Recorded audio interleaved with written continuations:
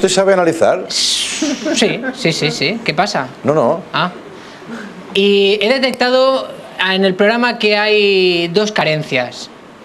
Te faltan dos cosas que se están llevando mucho en televisión. Una es la denuncia social Mm. y otra es la investigación de famosos. Ah, sí. Y eso tú no lo estás tratando como Dios manda. Con revistas, ¿no? Con fotocopias de revistas, ¿no? Yo voy a empezar hoy por la denuncia social. Vale. Por ejemplo, en Antena 3 hay varios espacios de denuncia social, pero yo hoy, por ejemplo, quería empezar con un timo que se está haciendo, señores y señores, esto va en serio ya, es un timo que se está haciendo en las grandes superficies Sí. y hoy me ha llegado l- lo que está pasando en, en- en España.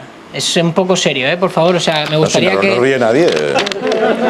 Está reclamando una seriedad que ya existe, ¿no? Se llama el timo del parking del Carrefour.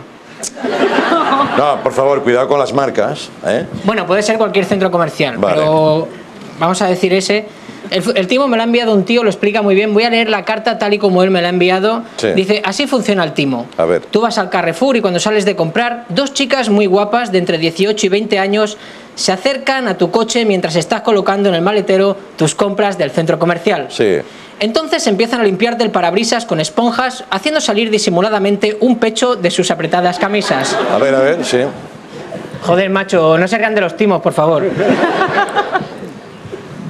Cuando al final, para darles las gracias, intentas darles una propina, ellas renuncian y piden en cambio que las lleves al Carrefour de, otra, de la otra punta de la ciudad. Ajá. Si aceptas, suben y se sientan en los asientos posteriores. Sí. Mientras conduces, ellas empiezan, entre ellas, a hacer juegos lésbicos. Ya. Cuando llegas al parking del otro Carrefour, una de ellas, haciéndose la agradecida, sube en el asiento anterior y te hace una felación brutal. Ya. A ver, a ver. Mientras la otra, que aquí viene el caso, mientras la otra, sin que te des cuenta, te roba la bolsa del pan y los yogures.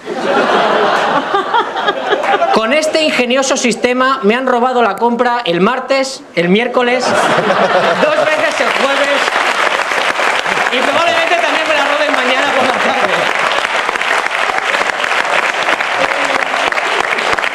Esto, Muchas gracias. esto es denuncia social. Esto está pasando, Esto ¿eh? está pasando, no solo en el Carrefour, también está pasando en el Champion, porque eres un champion si te pasa esto. La señora como ríe. Oiga,